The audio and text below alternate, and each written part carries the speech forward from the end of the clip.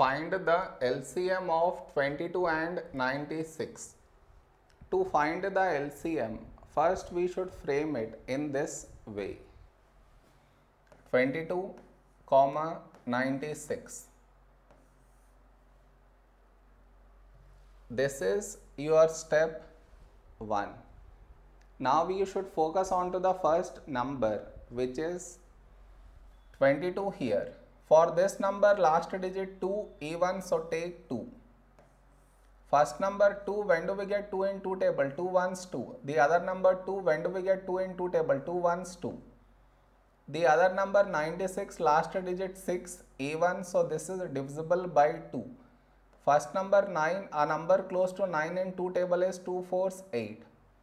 9 minus 8 1 1 carried forward 16 when do we get 16 in 2 table 2 8s 16 now here we have 11 11 is a prime number so 11 ones 11 the other number 48 not divisible by 11 so we write it down as it is we got 1 here so focus on to the other number 48 last digit 8 even so take 2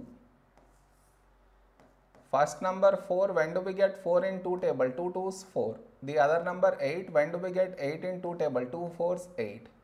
Now here last digit 4 even so take 2. First number 2, when do we get 2 in 2 table? 2 1s 2. The other number 4, when do we get 4 in 2 table? 2 2s 4. Now here we have 12, 12 is 2 6 12. Now 6 is 2 3 6. Now we have 3, 3 is a prime number, so 3 ones 3.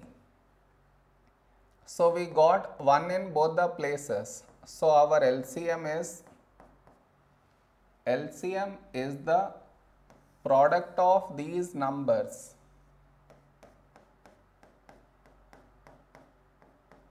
That is 2 into 11 into 2 into 2 into 2 into 2 into 3. So let us multiply these numbers.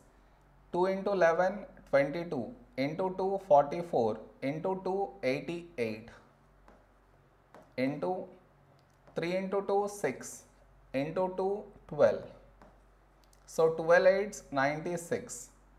12 8s 96 plus 9 105. So 1056 is our LCM.